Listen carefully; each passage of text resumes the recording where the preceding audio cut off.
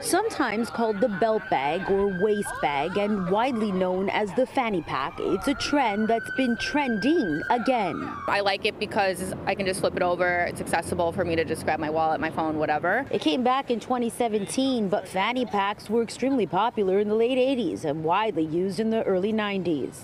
I think it's super mainstream. I think it's been here for a while and it's definitely here to stay. New York based fashion stylist Lindsay Brooke Weiss says the convenience of the fanny pack is one major selling point, and it seems many agree with her expert opinion. I think it's cute, I think it's convenient. Yeah, no, it is convenient. The design generally a pouch on straps that clip just like a belt, but you can find them in many different fabrics and variations for every season. From big designer brands to more affordable options, you can pretty much find a fanny pack in most stores or online. From Amazon, you know, under $15 to Lululemon. And then, of course, you have your Pradas, your YSL, your Balenciagas also.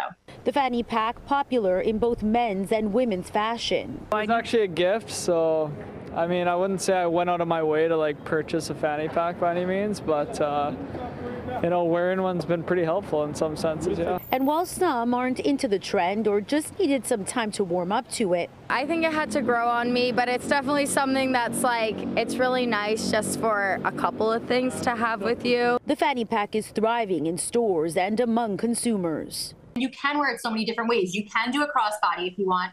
I have one that I actually love slinging over my shoulder. So it's pretty much, it's a fanny pack and it's the size of a fanny pack, but it also doubles as that and then triples again for actually putting it on your waist. And while you might have thought it would only have had a short stint this time around, that certainly proved untrue. I thought it was kind of like um, uh, ironic, a, a little bit of a joke, um, but now it's sort of part of everyday fashion. Stephanie Bertini, Fox 5 News.